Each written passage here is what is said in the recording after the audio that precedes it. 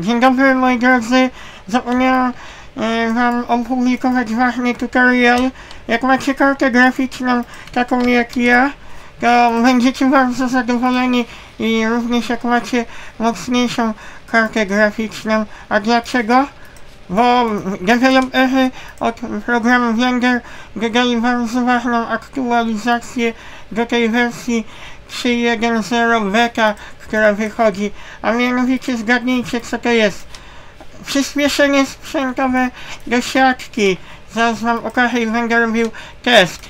Musicie wejść do Edit, Preferences i View Org, widok i na samym dole macie Subdivision, macie opcję GPU Subdivision. To będzie powodowało, że szybciej będzie chodziło, a teraz ja sprawdzę, jak to będzie w widoku chodziło.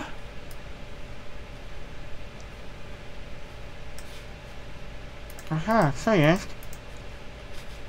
Chcę sprawdzić, bo mnie wyświetla... Aha, bo w widoku 3D, w, w widoku obiektu siatkę mi wyświetla. Optimal Display. I teraz wam okażę, co się stanie, gdy włączę e, przyspieszenie sprzętowe do siatki.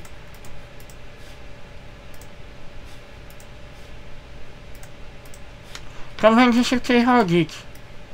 Różnica jest duża.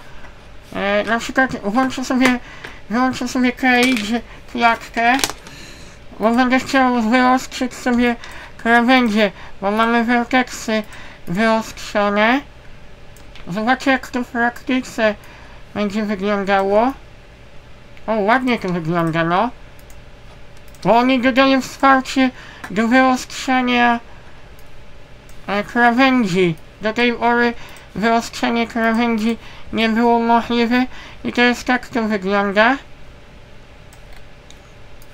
Bardzo szybka jest interakcja z siatką 3D, pomimo tego, że mam level view org subdivision aż 5 miałem. Także zapowiada się ciekawa wersja, moi drodzy. Tu jeszcze sobie wyostrzę te, krawę te krawędzie w opcji item. To jest jakbyście nie widzieli, bo to można schować. To jest taki mały yy, wystający kikut. Możecie to przesunąć. Jak tego nie widzicie, klikacie na to i to się wam w opcji items pojawi, jakbyście nie wiedzieli gdzie to jest. Mamy piękną siatkę, możecie piękne rzeczy teraz modelować, bo wcześniej wyostrzenie punktów nie było możliwe. To co mnie cieszy, że dali przyspieszenie sprzętowe, e, że on korzysta z, z, z przyspieszenia sprzętowego trójwymiarowa siatka. Nie było tego w poprzedniej wersji, moi drodzy, także niesamowicie się z tego powodu cieszę. Tak, jestem bardzo z tego powodu szczęśliwy i naprawdę mam z tego powodu bardzo dobry humor, moi drodzy. Jak, jak chcecie pracować, to możecie wyłączyć Optimal Display, tak wygląda siatka 3D. Jeszcze sobie tutaj włączę inny widok, Markup. Możecie też taki widok włączyć. Scene Lights. Możecie też dodać e, teksturę nieba. A na razie tak wam okazuję.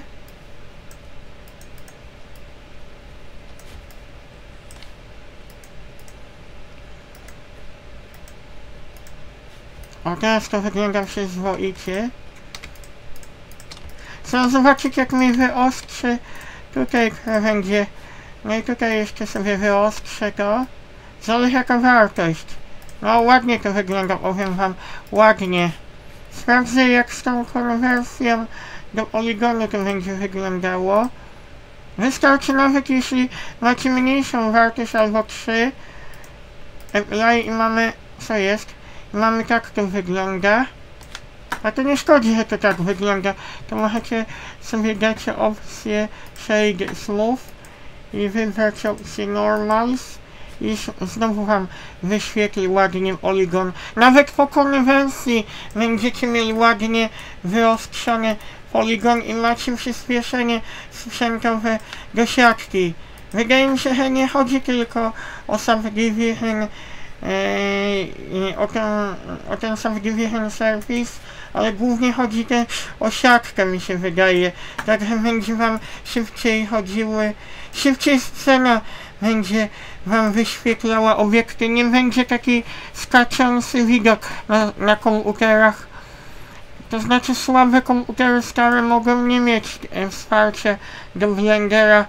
Nie wiem jak stary komputer możecie mieć, aby to miało wsparcie, ale wydaje mi się, że jak macie komputer, co ma 7 lat, albo 8, bo mój komputer ma 8 lat, czy 7, a jednak mm, ma pełne wsparcie do tego programu i normalnie mi wszystko szybko chodzi, tylko że mam duże pamięci RAM też, ale na szczęście jeszcze ten komputer działa dobrze i Blender jest normalnie przez niego obsługiwany, ale jak macie silniejszy procesor AMD Ryzen, nawet ten z 2017 roku, to powinniście odczuć wielką różnicę.